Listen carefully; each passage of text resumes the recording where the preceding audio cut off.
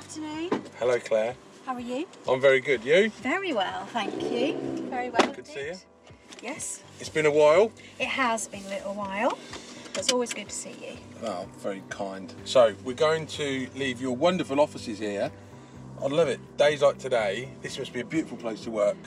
It's not bad. It's not bad. Fridays is a bit noisy because at the local aerodrome Sywell we have um, the um, aeroplanes go out to practice. Oh, okay. So Friday's a little bit noisy. But then we get to see a preview of all their air shows. So it's Excellent. not bad. Have your lunch out in the car park. Yes, yes, yeah. Um, so, well, Elsby and Co. Part of my start, in a way, helped me start in, in my career in business when um, when Carl was my uh, mentor for the Prince's Trust. I know, that was a while ago. 18 years ago. Yes. I've put on a few. Uh, I've gained a few chins since then. I'll tell you. But um, Well, it was it obviously worked. yeah. Here you are.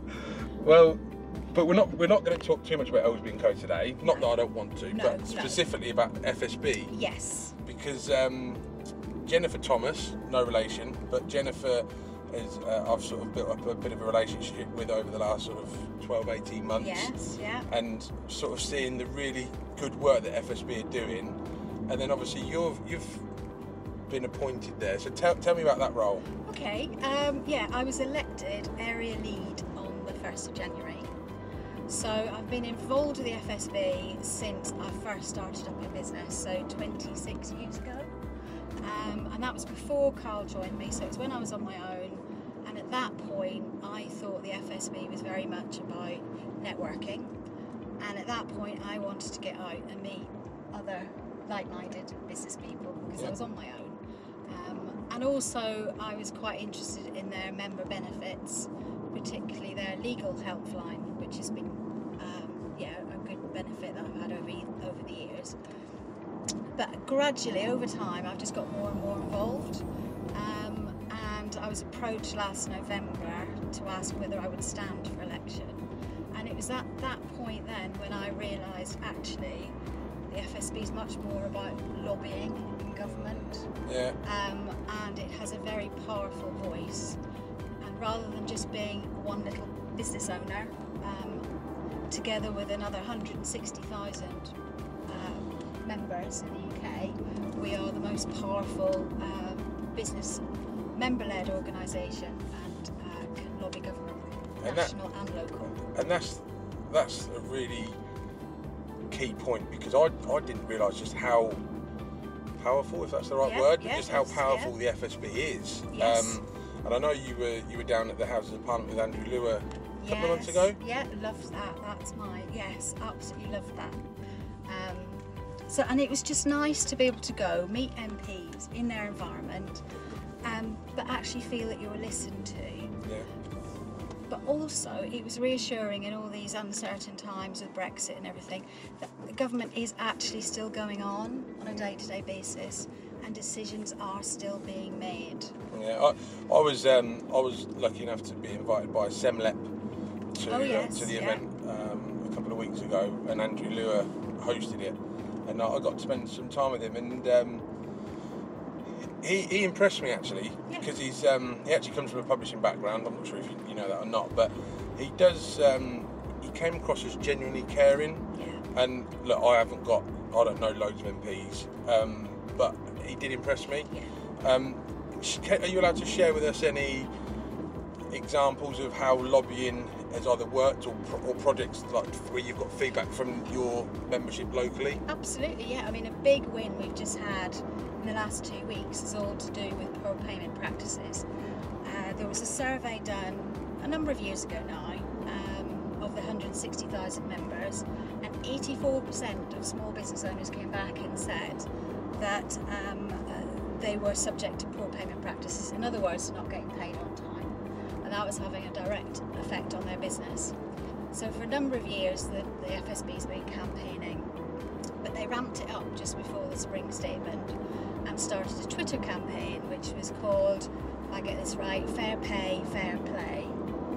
Um, and the idea, the, the, the asks, if you like, of the campaign were threefold.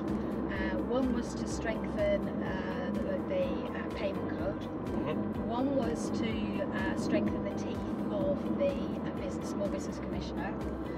Probably the most effective one, I think, is to make boards of directors accountable for poor payment practices.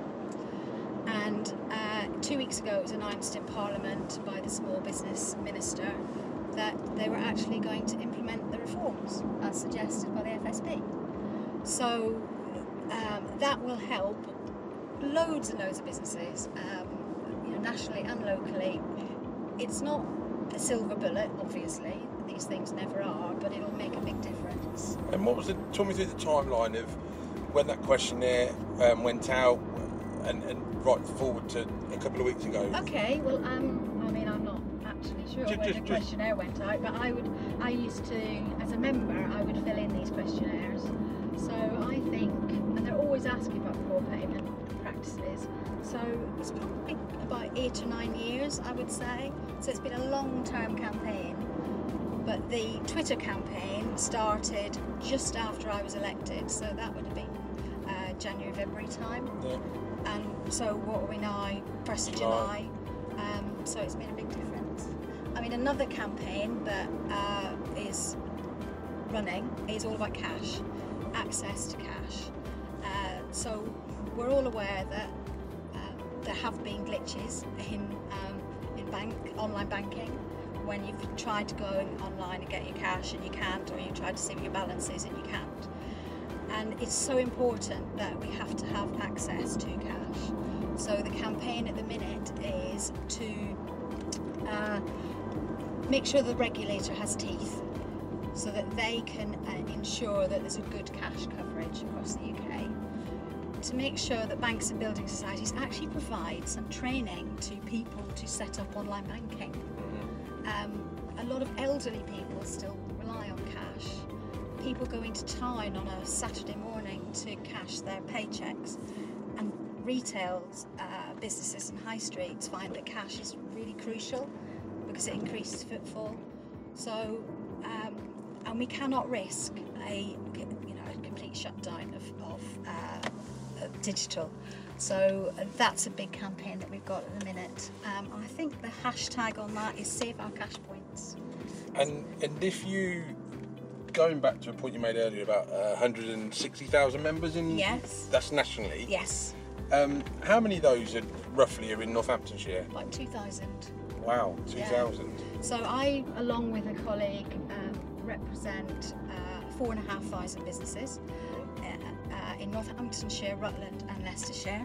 Luckily for me, because I live in Northampton, um, I have a, a colleague, Jenny Cross, who lives in Leicestershire, and so she represents the Leicestershire, and then we sort of split the lovely um, uh, county of Rutland uh, region of Rutland between us. So yeah, four and a half thousand businesses in those three areas. And if, if we just go back to the 2,000 that are in Northamptonshire, um, is there a restriction in terms of size or entry level that, to be a member of the FSB? Um, 249 employees, so that's quite big, Yeah. and that represents 99% of businesses in the UK. That So that's is- the maximum. yes. Yeah. And so, um, uh, but those 99% of businesses employ 60% um, of uh, private sector workers. Yeah. So it's huge uh, uh, potential for membership, um, and uh, it, it- it's very easy to join.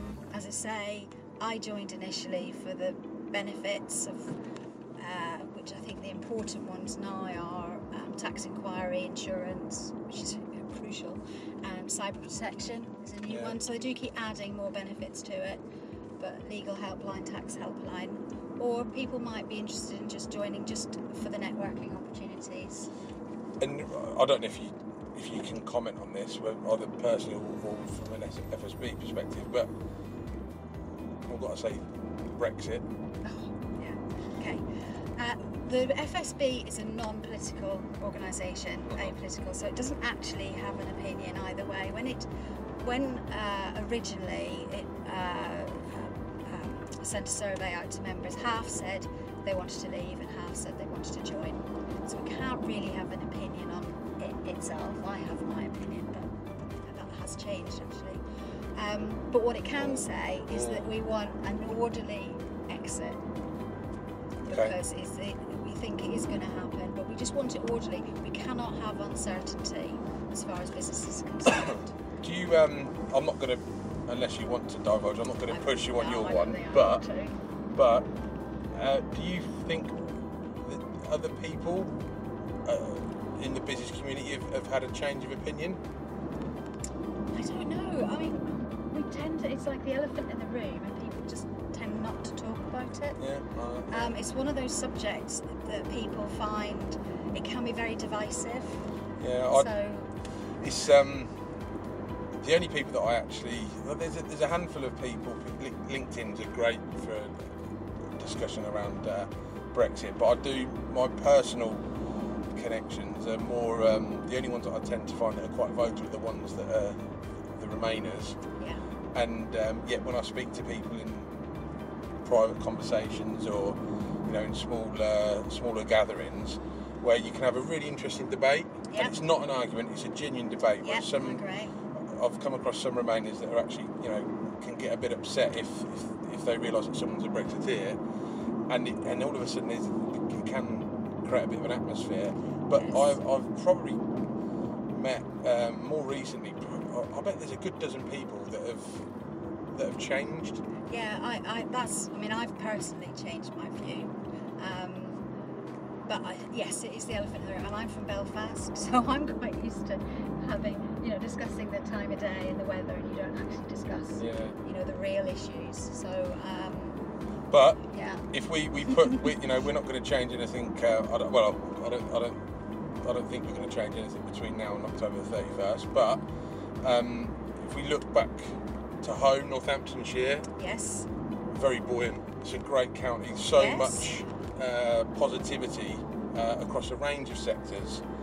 Um, what is there? Is there a, a standout um, company or project or um, something that's happening either this year or next year that, that you're particularly looking forward to? Um, the thing I'm really keen on actually, and I've been, I'm actually meeting up with the Northamptonshire bid uh, next week, is the Northamptonshire Forward. So Okay. the whole concept as to what's going to happen with Northampton Time Centre. Okay. Um, Is that Rob Purdy? uh, well, it was Rob Purdy. Okay. Um, he's uh, he's actually moved to London now, so there's another chap. So I'm meeting the new chap next week. Um, but yes, I'm, I mean, I live in Northampton, lived in Northampton now uh, 20 odd years, and so I'm passionate about the town. And uh, there are some really good plans. They were up for uh, consultation. I think the consultation closed yesterday, actually. Um, but they've got some really good plans. Also, there's the whole future of the local government. So that's all up for all up for review. Um, and I've, with my FSB hat on, I've actually got to understand a bit more about local government. I didn't know. I knew very little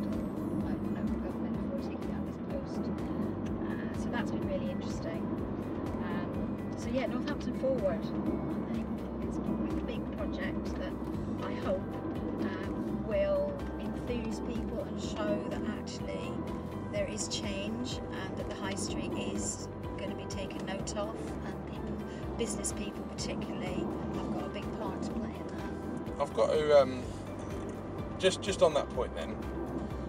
Rushden Lakes, Oh, yeah. fan or not? Um, only because we've got an office in Rushden. And actually, uh, it, it's a great venue. I, I spoke at the Boathouse last Yeah. week uh, on a, s- uh, doing a cyber protection seminar. Fantastic venue. Um, I don't actually have seen. I used to live in Rushden, so I know it quite well. That it's had that much of an impact on the high street because what the high street does is very different to what um, Rushden Lakes is trying to do. I would like to see more independence there. I think the only independent is Magazine Heaven.